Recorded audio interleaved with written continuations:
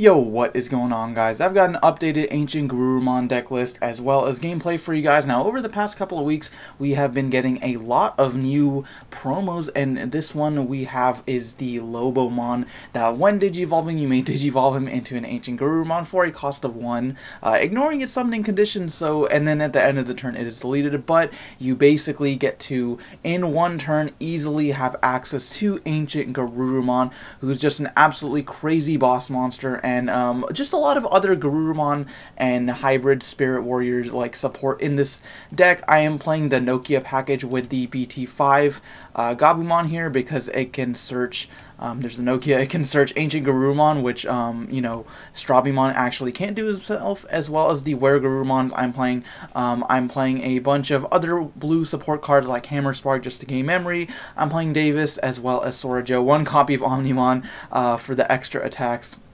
And I'm also taking in the WereGarurumon Sagittarius mode here because when you have him paired with the WereGarurumon, this can be a security attack plus one Digimon, and then you you know pair that with an Ancient Garurumon, make him active during the um, during whenever you're attacking, and that can be a decent amount of damage right there. So guys, that is going to be the list. Um, if you have suggestions, feel free to let me know. But let's get into the gameplay. So I'm going to be starting off with this opening hand, which is pretty sweet. Uh, I do have the Lobomon as well as the Nokia for the Gabumon, which is a pretty sick combo. Uh, unfortunately, I do have the Strabimon, and usually you do want to play him as opposed to Digivolving him over something like the Upamon, but it all works out because I'm going to play the Nokia for a 3 cost and then play the Gabumon for 0 uh, just for free off the Nokia and then draw a card, and I drew into the Ancient Garurumon, which is super, super crazy uh, because now I do have the Lobomon, so effectively effectively uh, if I do have enough memory to go into the Lobomon. For a total of 3 memory, I can just go straight into Ancient Garurumon, attack a couple times, um, and, you know, be done with that. So my opponent is playing a Tactimon version of Purple, where essentially you're trying to get out Tactimon, who's a super sweet mo monster, and get him to attack multiple times with something like War um, and you know control the board from there. So I'm going to go straight into Lobomon. So Digivolve him for two, and then go into Ancient Garurumon for one. I'm actually going to rest the Nokia uh, to reduce the cost of Ancient Garurumon by one, so that is only a two cost total. I'm going to swing with the Ancient Garurumon and then use the effect to make up to two hybrids and or uh, Garurumon Digimon active again. So he's going to be able to attack two times with 13,000 DP, which is pretty crazy. Plus, I got the draw off of the Upamon. And now with 3 memory, um, unfortunately I don't have like another Ancient Garurumon because I do have the second copy of Lobomon. But I'm just going to go Coelamon, which is the one-cost blue blocker that we finally got out of Battle of Omni. So that's super sweet, very memory efficient. And then I'm just going to play the Gabumon for my hand, hopefully adding some more cards. Uh, and would you know, I'm revealing three copies of, or three Garurumon, so I'm just going to add the Ancient Garurumon there since I do have the Lobomon. So next turn, uh, I'll be able to follow up with hopefully getting two Ancient Garurumons on field.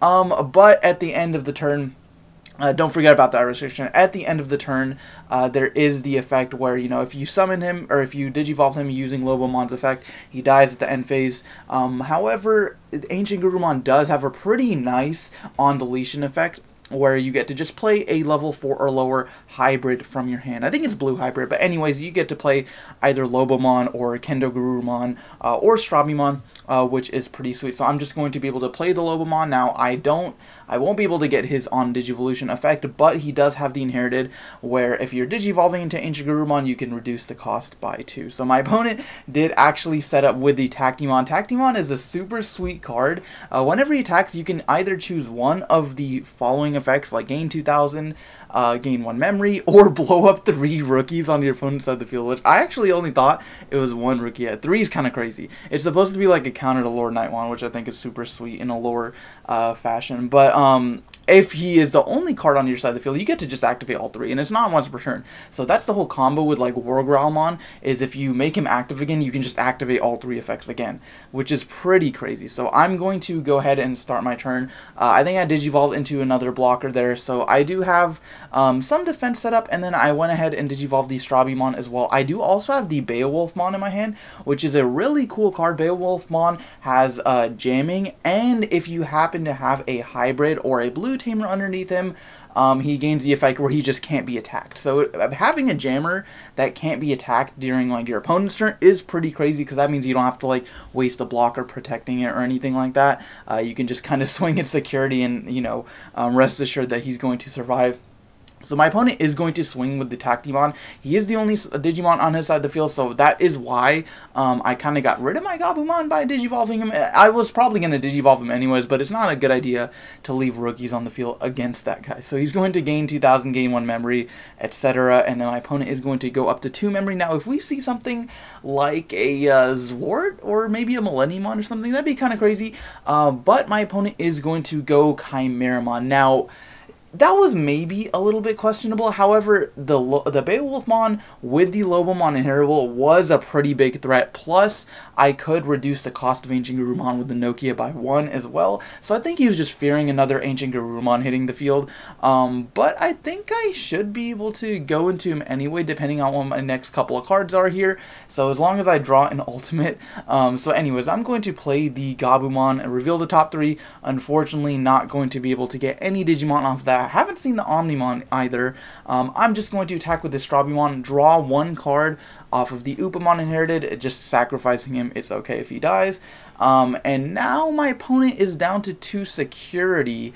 I'm thinking maybe I should just memory choke him and yeah, just play the Gabumon, draw a card, and there you go. I drew the Lobomon. So the next turn, if I do start my turn with at least two, I'll be able to go Lobomon and then finish off the game with Ancient Garurumon. I think I win anyways. My opponent does have one blocker, but he does need either uh, like one more blocker or some way to get rid of one of my Digimon. So maybe a Heat Viper or something, or Beelzemon, possibly. So we're just going to see a Tactimon.